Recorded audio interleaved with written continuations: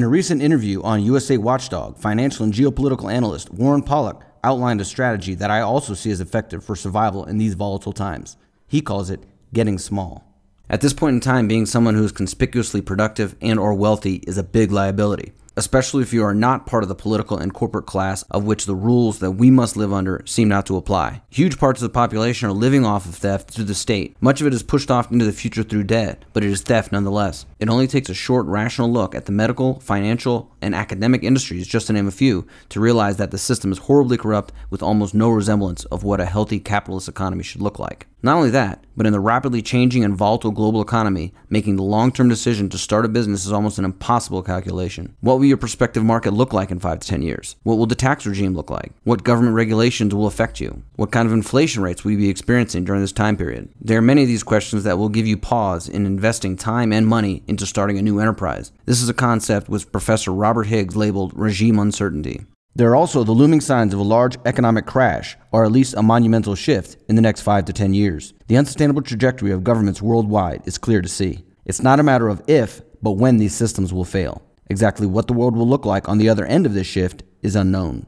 So, knowing all of this, what is one to do? Especially someone who is young and wants to be successful while not becoming a victim of their own success. It may seem like this is all negative without any good solution, but that is not the case. I'll give my recommendations, but first, I'll let Warren Pollock explain what it means to get small. You know, strategy for our times is to get small.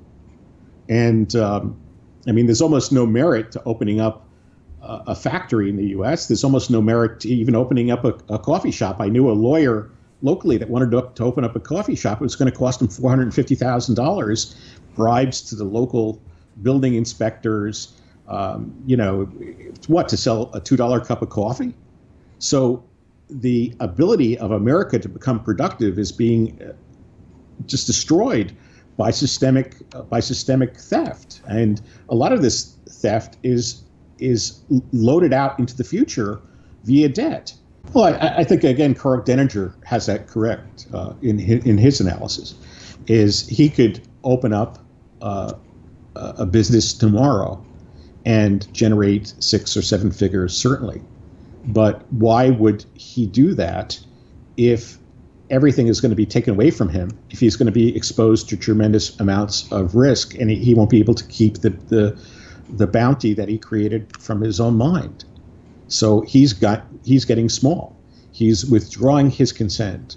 And the way you, do that is with money. You know, if you can't vote at the voting booth, and that has no effect, you can vote with your money and make yourself less of a target. You know, I've personally sold some real estate uh, because it's a vector for uh, you know taxation.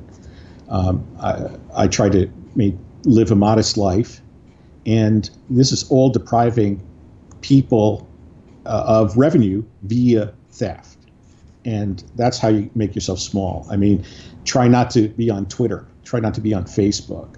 Uh, don't give people information that can be used against you and will. I actually do see merit in his recommendation to stay off social media. I'm on social media and have opened myself up online for a variety of reasons, although I understand the risks, but I don't recommend it for everyone. During the interview, Pollock recommends that people withdraw completely and live a simple life. Many people do take this approach, but I do not, however, think that is necessary.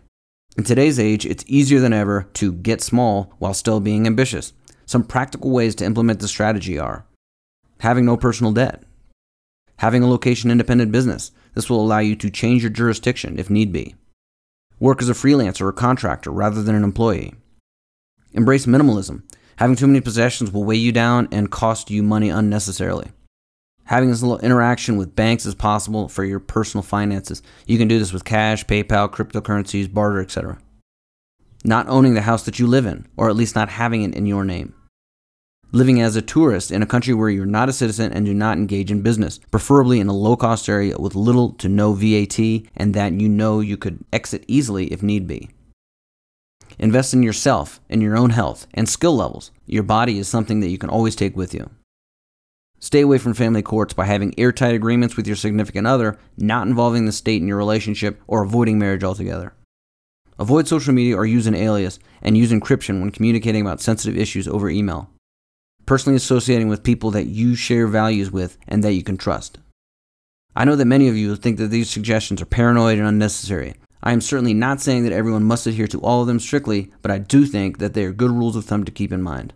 Also, don't only think about what the state of affairs is today, but what it may be like in the future. If you make a long term commitment or leave a record of something, and the laws change in, say, 10 to 20 years, you may still be held accountable for the new policies. Taking risk is an important part of getting ahead in life, but let's be realistic about the amount of risk that we're faced with today.